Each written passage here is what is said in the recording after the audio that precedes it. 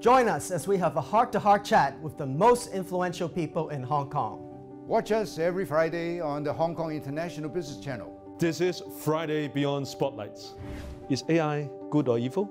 Um, how would it feature in the fourth industrial revolution? And what does it mean for us to uh, embrace this uh, in the new world? In my view, artificial intelligence is one of the most amazing human technical advance in our human civilization. So it's definitely good. It's definitely not evil. Right.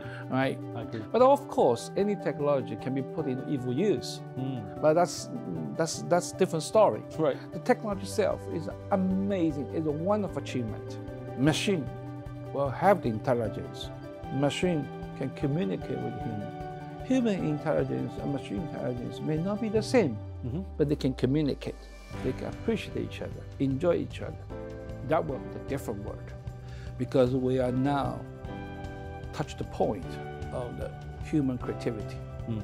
We want the machine not only can mimic, Yes. but the machine can create. Mm. So uh, this is something which is very unique to human.